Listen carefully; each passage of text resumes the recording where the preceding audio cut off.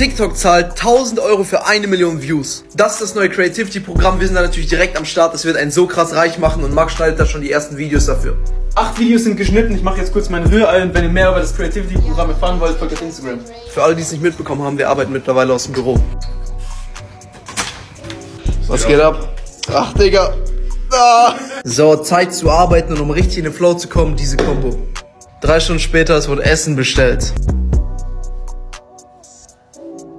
Dabei wird sich eine Folge von Nahim Sky Erkenne den reingezogen. Nahim, wenn du das siehst, lad uns mal zu einer Folge ein. Wir haben krank Bock daran teilzunehmen. Und es geht zurück an die Arbeit. Wir arbeiten an unserer neuen Webseite future1%.de. Die wird ein krankes Update bekommen. Wir arbeiten da mit einem Profi zusammen. Die Arbeit für heute ist verrichtet. Wir buchen jetzt nur noch kurz ein Airbnb. Für uns geht es nämlich nach München. Hilali, Ali und Laso besuchen. Wir nehmen dann einen Podcast auf. Bevor der Vlog endet, brauchen wir noch mal kurz Hilfe von euch. Waren noch nie in München. Schreibt mal bitte in die Kommentare, was man in München gemacht haben muss, wenn man schon dort ist.